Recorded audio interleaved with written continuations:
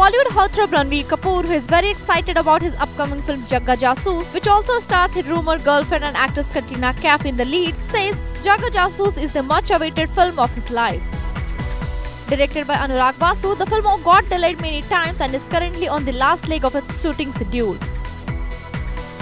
Ranveer, who was present here at the Vogue Beauty Award 2016, when asked about his most delayed project, to that watch what Ranveer has to say.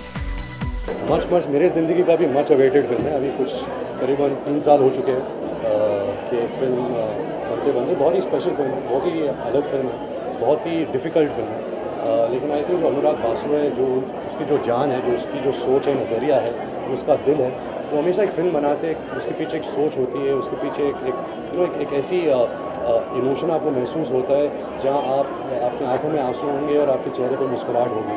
I think film बनने में time लगता है। हम film ऐसे नहीं बनाते कि अभी एक्टर्स को चार महीने डेट्स में उसमें ख़त्म कर लो। So we try to make an amazing film and I hope कि जब ऑडियंस इस फ़िल्म को देखें उनको पसंद आए।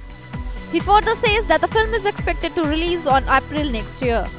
I think ये फ़िल्म अगले साल अप्रैल को रिलीज़ होगी क्योंकि ऐदल मुश्किल अभी दिवाली में रिलीज़ हो रही है। ज़ाहिर सी बात है कि एक एक्टर की दो फ़िल्म इतनी जल्दी नहीं आ सकती तो अगले साल अप्रैल है Currently, Ranveer is busy shooting for his upcoming film Adil Dil Hai Mushkil, which also stars Anushka Sharma and Aishwarya Rai Bachchan in lead roles.